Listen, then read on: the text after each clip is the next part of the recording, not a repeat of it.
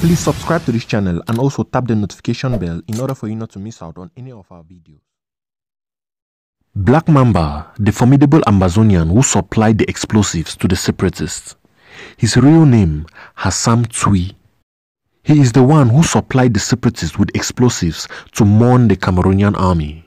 He has a Nigerian father and a Cameroonian mother. Nicknamed Black Mamba and the leader of the separatist group of the same name, Hassam Tui is indeed the one who supplied explosive material to Ambazonian separatists and also supplied IEDs to mourn the Cameroonian army while destroying roads.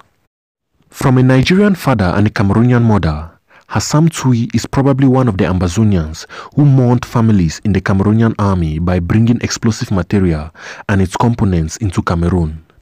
Hassam Tui was captured with ammunition and explosive material capable of causing fatal damage within a radius of at least one kilometer.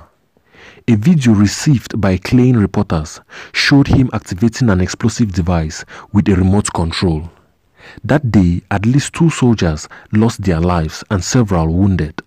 Images received by Klein reporters show that Hassam, since 2017, has forced several English-speaking Cameroonians to seek refuge in Nigeria, where he has partnered with the Cameroonian NGO to provide them with food, support, and subsequently offered the male refugees to go and fight in Cameroon.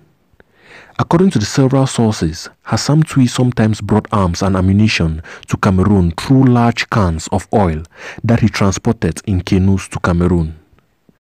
In 2018, he escaped an arrest by the Cameroonian army, but several of his fighters were captured alive.